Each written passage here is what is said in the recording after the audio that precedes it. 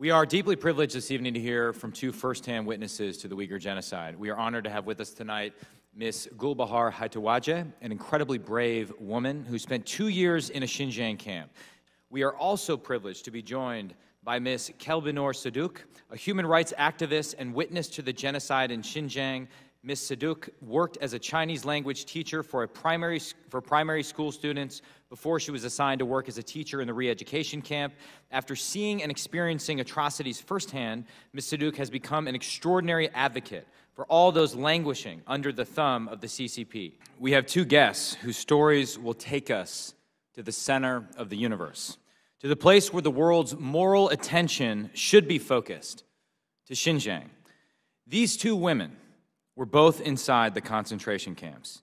They are firsthand witnesses to the systemic, unimaginable brutality.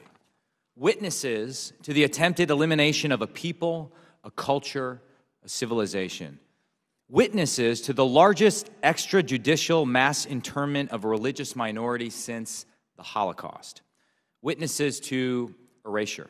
Mayli dars vaqtlari bo'lsin, tushlik orom ilish vaqtlari bo'lsin, bu tutqun arlarning oldiga besilgan nomerlar orqali chaqirib achikitilib, so'roqladi va so'roq jarayonida har xil qiyin qissoqlar olib borildi.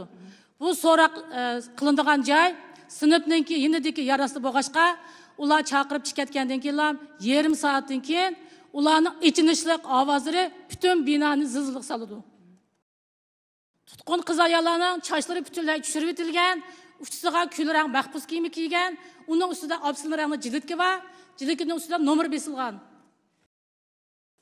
Ularni qiynashning to'rt xil usuli bor ya'ni elektronlik kaltak elektronlik do'ppa elektronlik palay va elektronlik tumir o'rindiq ya'ni bu yo'lbars o'rindiq deb ataladi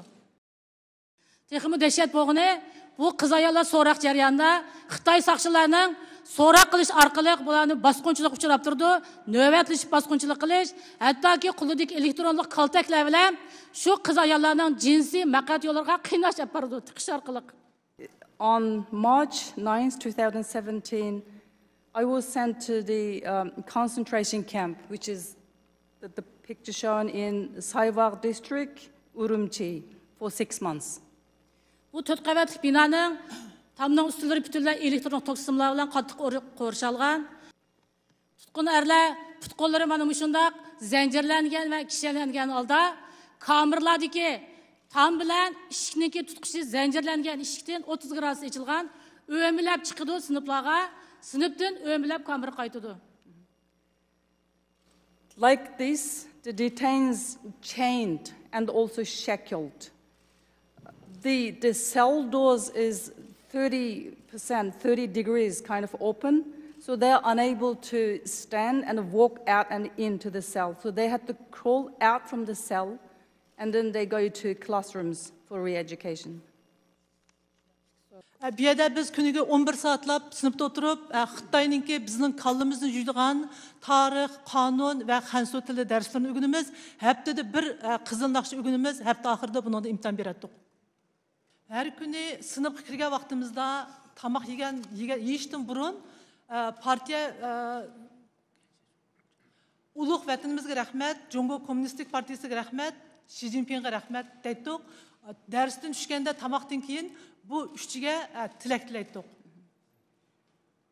Ondan mening putimga kishanni silib, kamerga kirib so'layapti.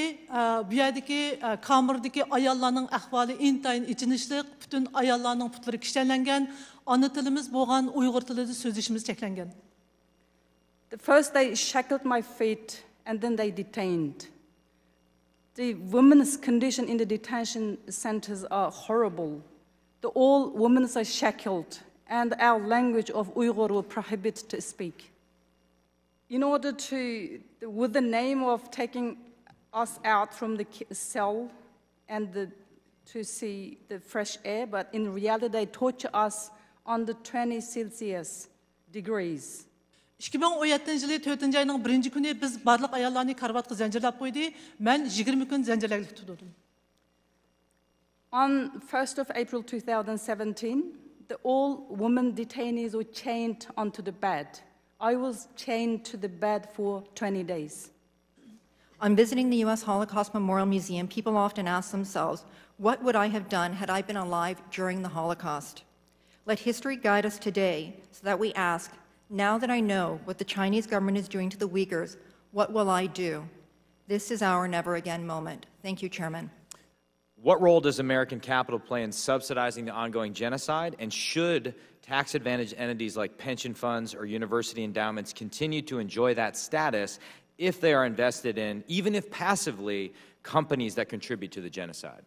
Um, this, is, this is happening two ways. Um, the American people, uh, us consumers, continue to fuel this genocide through our purchase um, of the tainted products. We're talking about more than 80 global brands.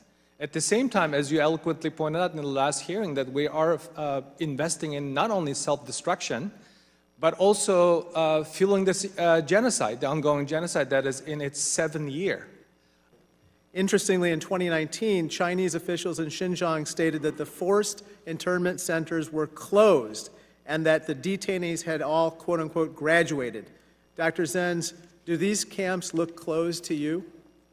Um, we have a trend, and we have some uh, witness accounts of Uyghurs being shifted from the re education facilities both into forced labor and into higher security prison and we can assume that hundreds of thousands have been shifted into these facilities, which have been dramatically expanding.